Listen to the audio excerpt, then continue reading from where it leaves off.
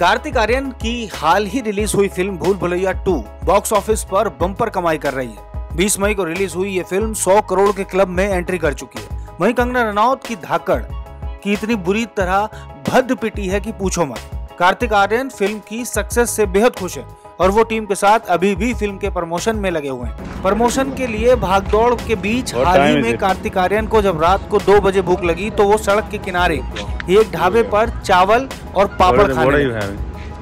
पापड़ और चावल। सौ करोड़ बना के। सौ करोड़ की खुशियाँ यही है।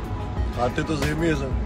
कार्तिक आर्यन का सड़क किनारे चावल पापड़ खाते हुए एक वीडियो सामने आया जो सोशल मीडिया पर तेज़ी से वायरल हो रहा है। फैंस भी कार्तिक आर्यन का ऐसा अंदाज देख इम्प्रेस हो गए? वो एक्टर को डाउन टू अर्थ बता रहे हैं। कार्तिक आर्यन हाल ही में भूल भुलैया टू के प्रमोशन के लिए पुणे पहुँचे थे लेकिन वहाँ उन्हें देरी हो गई और इसलिए रेस्टोरेंट में खाने का टाइम नहीं मिला कार्तिक आर्यन के पास इतना वक्त नहीं था कि वो कहीं और खाने की व्यवस्था कर सके क्योंकि उन्हें कोलकाता निकलना था ऐसे में कार्तिक आर्यन ने सड़क किनारे खुली बिरयानी की एक दुकान पर जाकर चावल और पापड़ खाने शुरू कर दिए देखें video What time is it? It's 2 o'clock. 2 a.m. What is the, what are you having? पापड़ और चावल। सौ करोड़ बना के।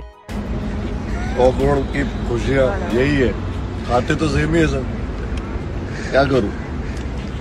हंड्रेड करोड़ किया है फिर पापड़ खा रहा हर रास्ते में बैठ के। खाना नहीं मिल रहा दुकान नहीं खोल रहे। दो बजे रात को क्या है?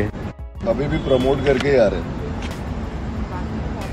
कार्तिक आर्यन के इस अंदाज पर फैंस मर मिटे हैं और वो खूब तारीफें कर रहे हैं। एक ने लिखा, कार्तिक एकदम अपने मोहल्ले वाले लड़के की फीलिंग देता है. एक और फ़ैन ने लिखा, बहुत मेहनती और डाउन टू अर्थ है कार्तिक आर्यन. एक और फ़ैन ने कमेंट किया, कार्तिक आर्यन जैसा कोई नहीं.